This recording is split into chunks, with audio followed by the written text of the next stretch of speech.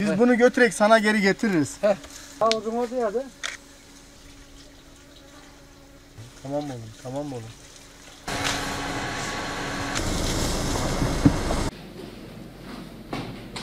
Görünmeye çalışıyoruz.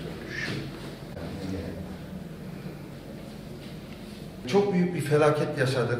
Fakat yangının söndürülmeye başladığı ilk günden beri yaralıları getirip tedavi etmeye çalışıyoruz. Adana Büyükşehir Belediyesi olarak insanların nasıl ki yanında olduysak yaban hayatında da yanında olmaya devam ediyoruz.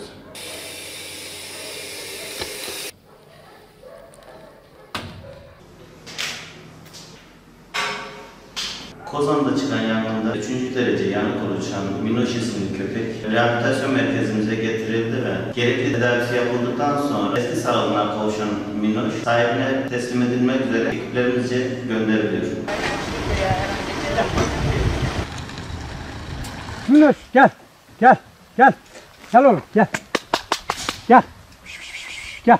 Gel. Gel. Gel.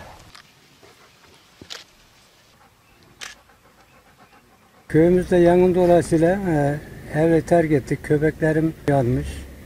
Bunları Adana Büyükşehir veteriner arkadaşlar gelip götürdüler. Sağ olsunlar köpeğimi bir ay sonra getirdiler sağ salim teslim ettiler. Hepsine Büyükşehir olarak veteriner arkadaşlara da teşekkür ederim.